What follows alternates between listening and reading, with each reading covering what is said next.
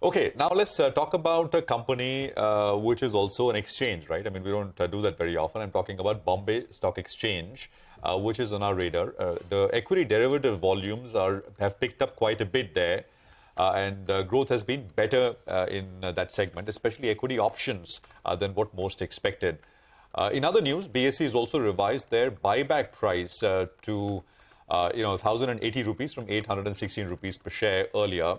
We have uh, the managing director and CEO of the business of the company joining us, Mr. Sundararaman Ramamurthy, is uh, MD and CEO at BSE. is with us here, by the way, in our studios. Mr. Ramamurthy, it's great to have you with us here. Good morning. Uh, really pleasure that you could make it uh, to our studios, sir. I mean, uh, you know, the business is doing good. It's reflected in the stock price in a very large way uh, as well. but let's, if you can talk a little specific, especially since options are the largest part of our markets now. What are BSE's plans? I think uh, the last data we have suggests that you've reached about 5% share in the equity options uh, segment. Uh, what's the latest number? What's the internal thinking on that in, the, in, this particular segment? Where do you want to be? First of all, thanks to CNBC for this opportunity. Uh, as you are aware, on May 16th, 2023, to be precise, we introduced Sensex derivatives in BSE. Rather, we relaunched Sensex 30 derivatives. We started with around uh, 8 members being fully ready, totally 28 members participating. In 16 weeks, as you rightly pointed out, much far exceeding our own expectations, the product has grown. And uh, last couple of weeks, two weeks, if you look at it, we are doing around 100 lakh crores as notional around 300 members have already been in and uh, when we started two software providers were supporting us. Today around 13 software providers are supporting in the front end. Number around 5 crore UCCs have gotten in and around 3 lakh UCCs are regularly trading.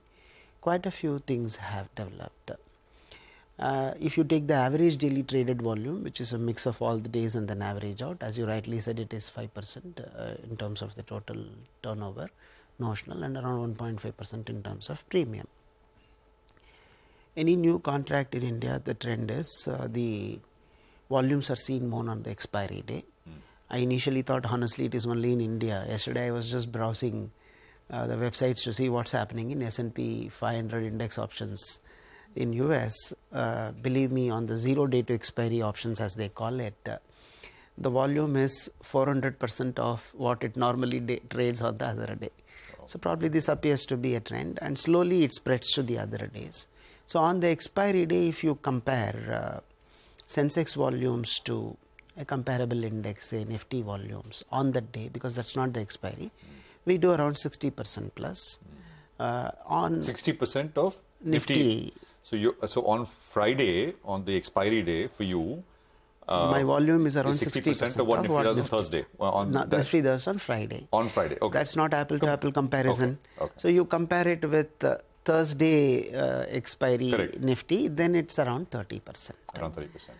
So, so this is where it is, and this is where it is that five percent number, Mr. Ramamurthy. Where do you want to? Uh, what can you get to uh, in terms of notional volumes as a share? Uh, let me be very honest with you. I don't have any such number target. Let me tell you what is the target I have in mind that is where actually I started from in my career here. The entire purpose of me coming to BSE was to make it vibrant mm. and provide such products which are alternates available to the market for them to trade in a viable way. So that is the only intention with which we have started this journey. And if we take it forward in respect of equity derivatives, what I would like to put as a number here is if I have uh, 5 crore UCCs with me in that, at least 20 25 lakh UCCs should regularly trade. If there are 800 members, at least 400 to 450 members should regularly trade. I am having around 300 members, that number should go up. So, if this is the, and I should have at least a significant volumes coming from foreign participants because then only the the word of good word of India spreads everywhere. So this is what I am looking at. I'm not looking and putting a number to what is the volume I should do and what is the premium I should do, what is the money I should earn. That's not what I am looking at. Because the primary purpose with which we have started this journey is to make BSE vibrant. Absolutely. Uh, Mr. Ramamurthy, it's a pleasure having you here in the studio. Thank you for joining us. You know, in the equity cash segment as well, I want to understand what is the potential now, given that, you know, there's so much growth in the markets. Um, your market share in the equity cash segment, I think, is stands at about 9% as of September this year. Uh, correct me if I'm wrong. And what is the kind of opportunity you see? Any targets that you have in mind at all? So there I had put myself a specific target when I started the journey.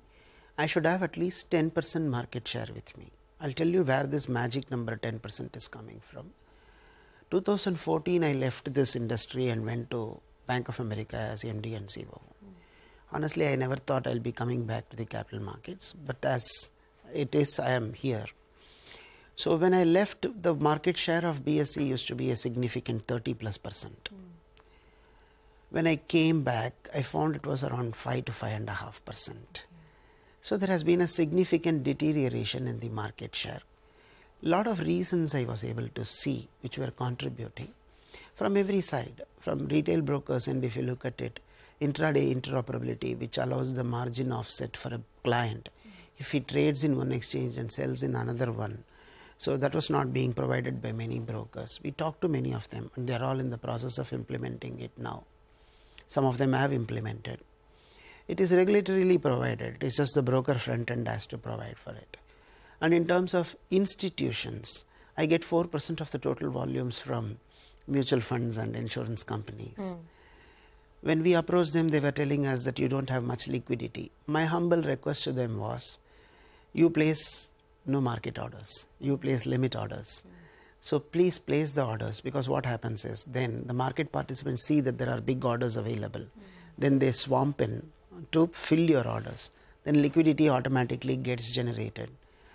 It's a long journey with regard to institutions because they take time to imbibe. So we are working on it. But you know, this 10% target that you have is something that you've almost met. I mean, you're 9% in August. So I'm just trying to understand what is the scope over the next one to two years? How much can you take it to? And where else do the gaps lie that you would like to fill? Oh, yeah. So the gaps were mainly coming from all participants, as I just talked about mm. retail and then uh, institutions. FPIs are not able to trade in BSE, not that they don't want to. Their requirement is a single contract note with a single VWAP price across exchanges. So that probably they feel is not yet provided for. So we are working with the market participants to get that provided. That will fill in that gap. Then is HFTs. If all HFTs try to look into an exchange when they are able to trade derivatives. If you do not have derivatives, they don't put in all the paraphernalia of things required as infrastructure to trade. So now that you have that, you find the ecosystem is getting built. That's why probably you are seeing inch by inch we are moving up.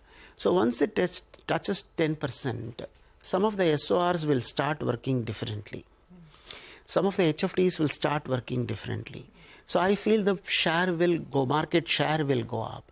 My feeling, which has been vindicated till now, is that any market share growth of BSE will not be at the cost of other exchanges volume traded. The market share will come, but the volumes will continue to increase because of two reasons.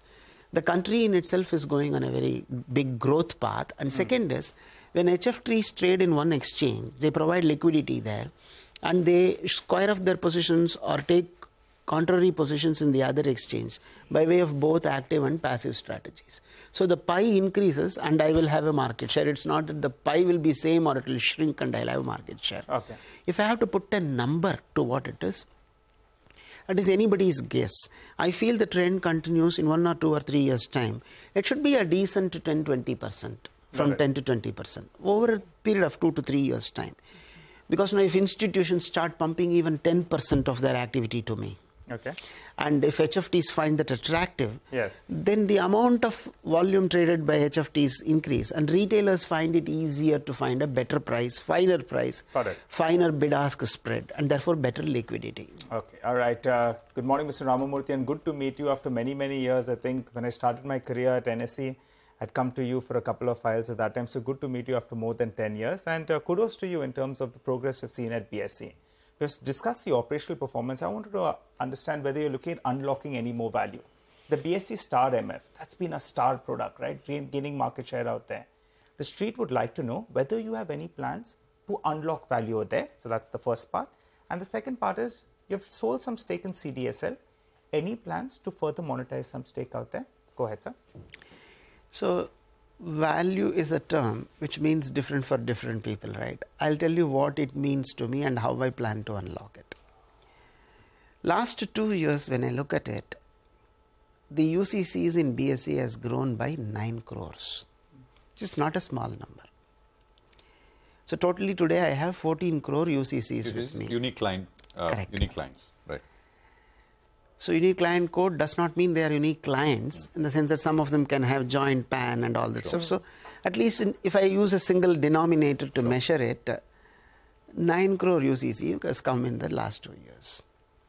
There has been a good amount of penetration into the market uh, to say so in terms of mutual fund volumes. For me, unlocking the volume is further penetration to provide a very stable platform where product, features, functionalities, control, governance, sustainability, scalability are provided. Right. Right. Right. You- know, Mr. Ramamurthy, I, I get what you're saying. You're looking to further penetrate into the market and further expand. So we Correct. get that. You know, my, my question is from a shareholder's perspective, they want to know whether you're going to unlock value. In that sense, will you look at getting a financial investor? Could you look at listing this platform? You know, those are ways that a shareholder perspective would be looking at. So that's the first part. Is that a plan? And second part is on CDSL stake. Will you sell some stake? So let me answer the second one Yes. first. CDSL stake, we sold 5% because Correct. it was a regulatory requirement. The remaining 15% we are permitted to have it, and we don't have any plans as of now to sell that off. It. Because it's a strategic investment for the country's need, which we entered into regulatory requirements, so we sold the 5%. Correct. This, the first one, mutual fund platform is not a standalone platform. The license for us to do that is come to us because we are an exchange, and exchange is already listed. So anything we do as value add in terms of penetration is actually giving money to the shareholder back. So it's already listed basically under Yeah, BSE. it's as part of the BSE pl- yeah. Just one uh, question, Mr. Ramurthy. Uh, there, you know, there was a spe- there was a note from IIFL, and they pointed out that you currently charge 500 rupees per crore of premium turnover, which is actually a, a fraction of what the NSE charges. NSE on an average, I think, is about 3,000 rupees or so. And they said, well, they expect BSE will increase this uh, sho- uh, shortly. Is uh, should we expect this, uh, and and by how much? See, this 500 rupees is not by my design. It is one another legacy which I had inherited. This was the number which was there in the system when I have joined. And eight months is too short a time to look at everything and arrive at the right thing. So, will I start charging some meaningful number for derivatives? I put the question that way. Yes, at the appropriate time, at the appropriate level, I will This be year? charging. This year in FY24? Honestly, I don't know. I need to ensure the timing is appropriate. What I would mean by that is volumes on a sustainable basis daily with a greater penetration of the market where you feel the product has started flying on its No, own. so at about what market share will you? I mean, I will not be looking at it, I, as I told you, Okay. I'm not looking at it from a And market what is share. an and- appropriate number from 500? What is the more? What is the correct number? I honestly don't know. I will be going to the market and discuss this. Whatever I do will be after consulting the market participants. Okay, just one quick question before we let you go. We're running out of time, but not out of questions. You have some other businesses which are in a very nascent stage, right? Whether it's the power exchange, whether it is the insurance distribution, Gift City, the international exchange, etc. Any plans that we can, you know, expect to sort of fructify over the next one year? You should. There will be plans. It is just that in eight months' time, I did not have too much of time to devote to all this. You have pointed out all the right places where I should be devoting more time. I will be doing them, and there will be plans, and we will be doing whatever best we can within the regulatory ambit to further those businesses. Okay, all right, uh, Mr. Ramamurthy, thank you so much for uh, you know coming here to the Thanks. studio and answering all of our questions. My and all the best. Thank you so much. plans. Thank you. Well, okay, so that is the word coming in from BSE. A lot of important.